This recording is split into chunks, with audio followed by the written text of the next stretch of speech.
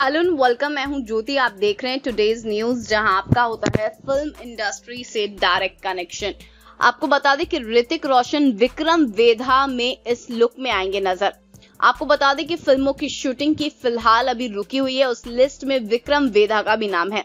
Film से जुड़े सूत्रों ने ये कहा कि तैयारियाँ जोरों पर है। इस फ़िल्म में ऋतिक रोशन चार अलग लुक में नज़र आएँगे।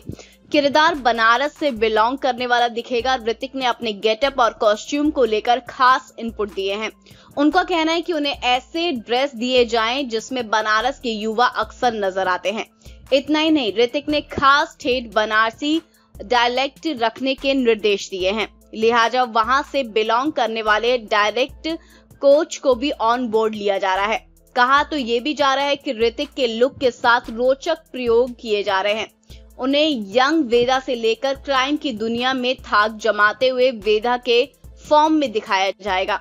मेकर साथ ही इसे लाइव लोकेशंस पर शूट करना चाहते हैं। इसकी खातिर मुंबई और बनारस आदि लोकेशंस की टेक रेकी वगैरह पूरी हो चुकी है।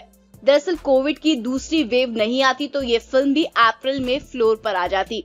वे इस तरह किस तरह फ़िल्म की शूटिंग करने करेंगे और कहाँ पे किस किस चीज़ों को शूट करेंगे, देखने में काफ़ी मज़ा आएगा। वह इस तरह की इस फ़िल्म की शूटिंग जहाँ जहाँ होने वाली थी, खासकर मुंबई में, वहाँ वहाँ प्रोडक्शन हाउस टेक्निकल रेकी करवा चुकी थी।